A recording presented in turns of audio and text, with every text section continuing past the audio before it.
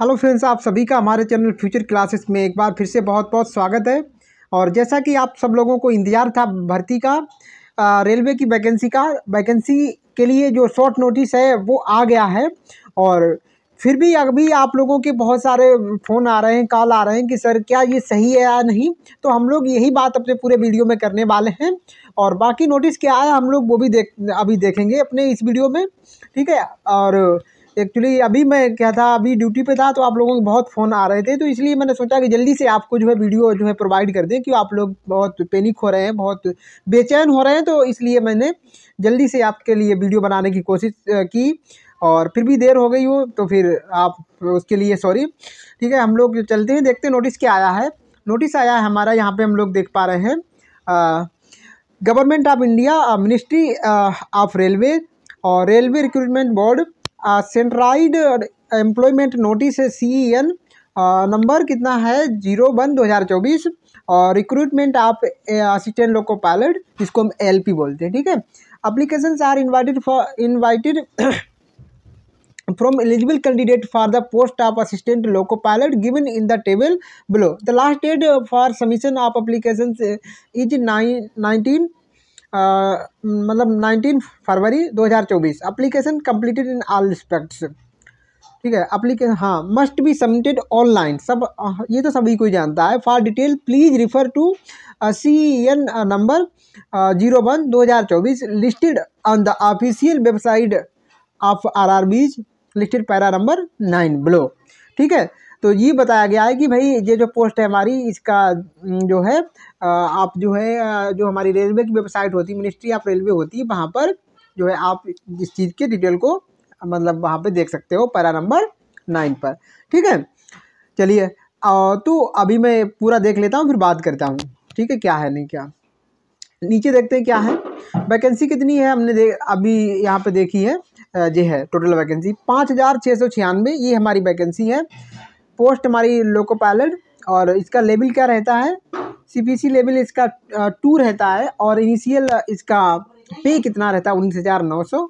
Medical standard A one चाहिए age कितनी अठारह से तीस वर्ष चाहिए। ठीक है? और एज में रिलैक्सेशन क्या होता है? वो भी हम लोग हमारी जो है, जो अपना पूरा फुल नोटिफिकेशन आएगा, उस समय जो है हम देख पाएँगे।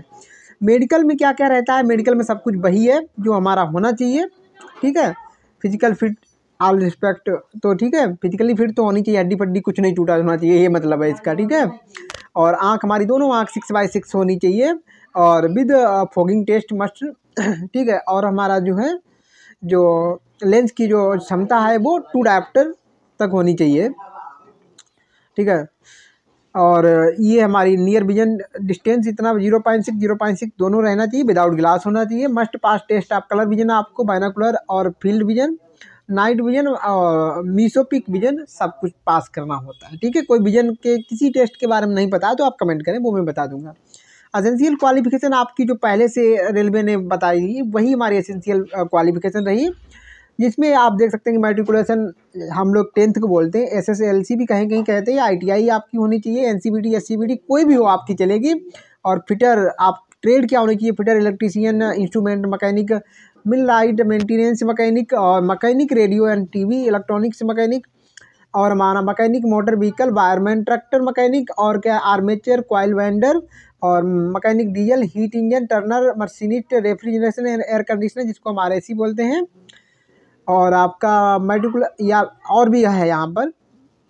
या फिर क्या हो आईटीआई नहीं हो तो क्या है मेडिकुलेशन या SSLC plus course completed act apprenticeship in the trade आप मैंशन अब अगर आपने जो है अप्रेंटिसिप कर ली है तो और अच्छी बात है। ठीक है? तो ये ए में सारी क्वालिफिकेशन थी। बी में क्या क्वालिफिकेशन है? एस एस एल सी या मेडिकुलेशन यानी कि दसवा पास थ्री ईयर डिप्लोमा अगर आपके पास है, ये चीज़ हमें पहले से भी पता है कि लेकिन डिप्लोमा किन किन ब्रांच में होना चाहिए, जो कैंडिडेट अभी नए हैं, वो देख सकते हैं। मैकेनिकल है इलेक्ट्रिकल है इलेक्ट्रॉनिक्स है ऑटोमोबाइल इंजीनियरिंग है, और combination of various streams of three engineering disciplines for recognized in uh, instead of I T I I T I की जगह पर अगर आपके पास डिप्लोमा है इस जो हमने ब्रांच की बात की है तो भी आप एलिजिबल हैं। और नोट में दिखाया कि अगर आपकी डिग्री भी है किस इन्हीं डिस्प्लेस में डिसप्लेसमेंट में मतलब अगर इनका कॉम्बिनेशन भी है आपके पास, जैसे इलेक्ट्रिकल का किसी के साथ में कॉम्बिनेशन है इलेक्ट्रिकल एंड इलेक्ट्रॉनिक्स है, दोनों मिक्स हैं, या किसी और के साथ में भी है, अगर इलेक्ट्रिकल या इलेक्ट्रॉनिक्स या ऑटोमोबाइल तो आपका है, वो भी चलेगा, चाहे डिप्लोमा हो, चाहे डिग्री हो डिग्री के लिए आप लिखा हुआ है, ठीक है? डिग्री भी एक्सेप्टेबल है, ठीक है? स्टेट ऑफ़ डिप्लोमा डिप्लोमा की जगह पे अगर डिग्री है तो वो भी चलेगा। रिजर्वेशन क्या मिलेगा आपको एस सी में? तो ये सब हमारा ऑफिशियल वेबसाइट पे पता लग जाएगा अभी शॉर्ट नोटिस है, ठीक है? नीचे फिर हमारा फ़ीस के बाद में कही गई तो फ़ीस हमारा जनरल और ओबीसी इनके लिए कितना रहेगा? पाँच सौ रुपये रहेगा। बाकी जो हमारा एस सी और ईबीसी e वालों के लिए ट्रांसजेंडर के लिए मिनोरिटी के लिए इकोनॉमिकल वीकर सेक्शन इसे ईबीसी e बोलते हैं, ढाई सौ रुपये रहेगा, ठीक है?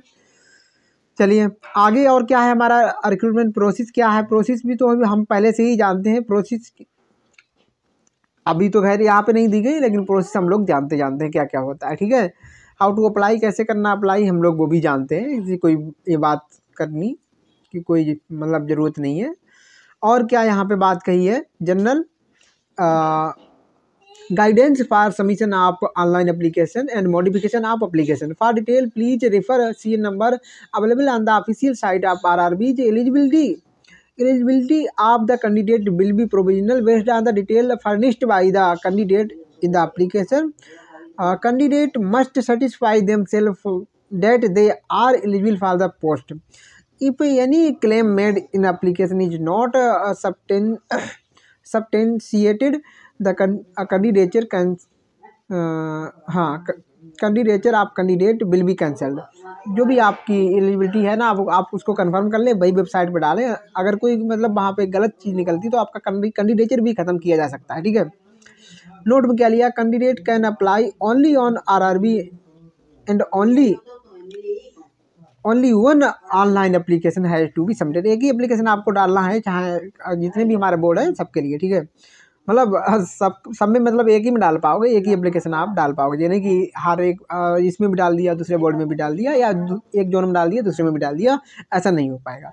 ठीक कैंडिडेट मस्ट भी keep their registered mobile number and registered email ID active throughout the recruitment process as all communication with with them will only be through S M S and email ठीक है? तो आपको जो ये ध्यान रखना है कि मोबाइल अपना और ईमेल आईडी हमेशा जो है चालू रखना है, जिससे कि आपसे कम्युनिकेशन हो पाए, आपके पास मेल या फिर एसएमएस भेजा जा सके। ठीक है? यहाँ पे हमारे चेयरमैन साहब चेयरपर्सन साइन तो नहीं है फ़िलहाल। ठीक है? साइन हो तो दिख नहीं रहे हैं, नहीं है। देखिए, अभी, अब मैं इसकी सच्चाई की बात कर लूँ, क्या ये सही है या गलत है? क्योंकि आप लोग बहुत परेशान हो रहे हैं, बहुत फ़ोन आ रहा है मेरे पास।